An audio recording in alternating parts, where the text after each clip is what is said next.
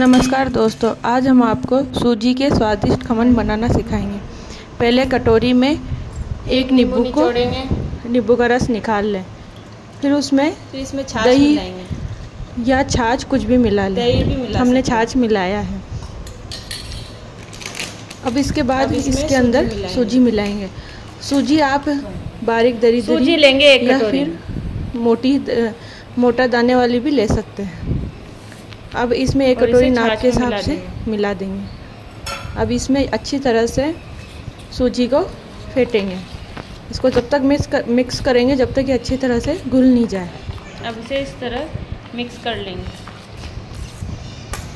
ये खाने में बहुत स्वादिष्ट लगती है। अब इसे अच्छी तरह से मिलाएँगे अब बेसन की जगह सूजी के भी खमन अच्छी तरह से मिलाने के बाद मगर इसमें इसमें थोड़ी सी छाछ हम्म, कम हो तो वो ऐड कर शक्कर मिलाएँगे। अब इसमें थोड़ी सी शक्कर भी मिलाएँगे। एक चम्मच शक्कर। शक्कर को मिलाने के बाद इसको अच्छी तरह से फेंट लेंगे। अब इसमें थोड़ा अब सा नमक भी ऐड आधी चम्मच नमक भी ऐड करेंगे।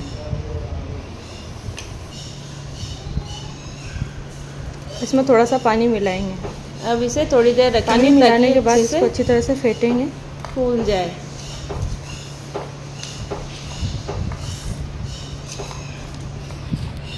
जब ये अच्छी तरह से घुल जाए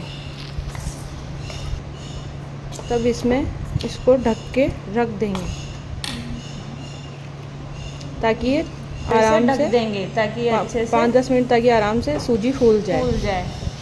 सूजी फूलती है तब तक हम थोड़ा सा पानी एक कढ़ाई के अंदर पानी को रखेंगे।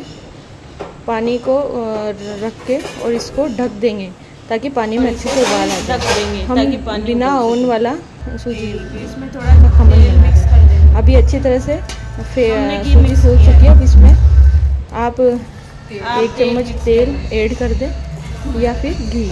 ऑप्शनल है घी या तेल कुछ भी। तो हमने घी तेल ऐड किया है।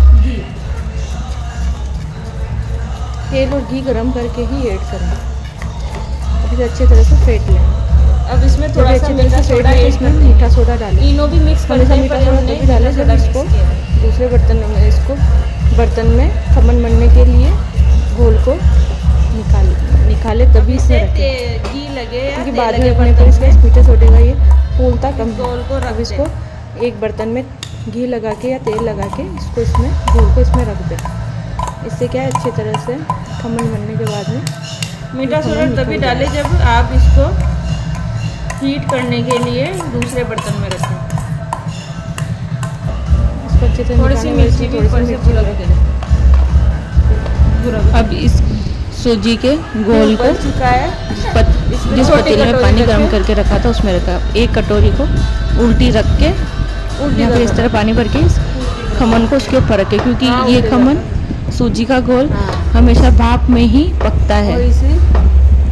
ये खमन इसको इस तरह रखने के बाद में इसके ऊपर एक बर्तन रख दें ताकि ये भाप बाहर नहीं निकले। अब बार बार पंद्रह बीस मिनट बाद में इसको देखें कि ये पक गया या नहीं। पक गया देखने के लिए आप इस तरह एक चाकू को उसमें लगाए अगर खमन उसमें से नहीं निकल रहा है तो इसका मतलब सही है। अब इसके खमन के ऊपर डालने के लिए घोल तैयार तेल डालें उसमें थोड़ी सी राई, मिर्ची और नीम, मीठी नीम के पत्ते का छोंक लगाएँगे। उसके बाद में इसमें पानी डाल देंगे।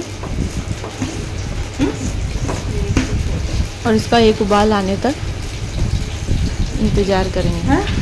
नींबू पटक दिया ना। इस पानी की घोल में आधी चम्मच शक्कर भी पटकते हैं ताकि ये खट्टा मीठा स्वाद रहे।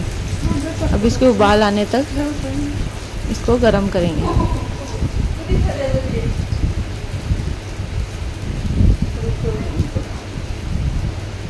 और इसमें थोड़ा सा नमक भी ऐड कर देंगे। अब इसको सूजी का खमन तैयार हो चुका है।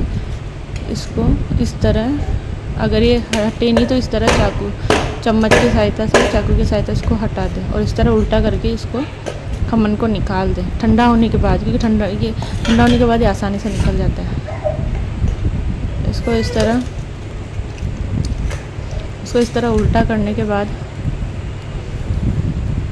जो पानी का घोल, मीठे पानी का घोल तैयार किया था वो इसमें, इसके ऊपर लगा दें। इससे क्या है ना इसमें सूजी का जो मीठापन रहता है, थोड़ा गीला गीला रहता है, वो सही रहता है।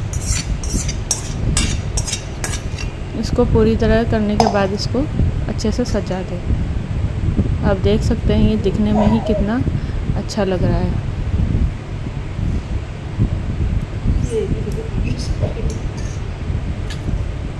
खाने में तो और भी ज़्यादा टेस्टी है। इसको सर्व करते हैं। सूजी का खमन बनके तैयार हो चुका है, इसको अच्छी तरह से काट लें।